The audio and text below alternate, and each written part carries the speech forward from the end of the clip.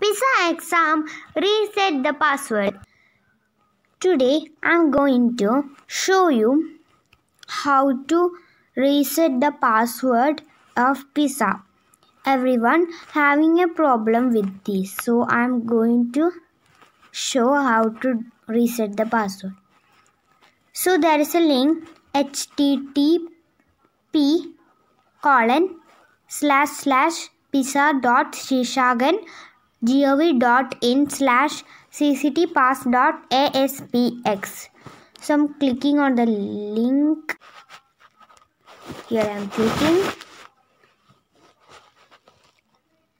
So it's coming now.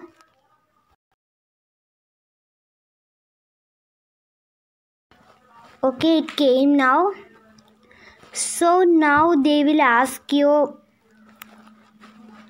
mobile number so search your mobile number.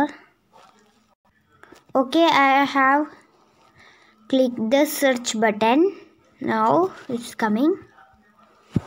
Now it's resetted. We can open here directly into this link to attempt the cct test. Now they there will be my user id password student name and father name and my mobile number. So we can reset here uh, we can search our password here and also reset. So thank you and have a nice day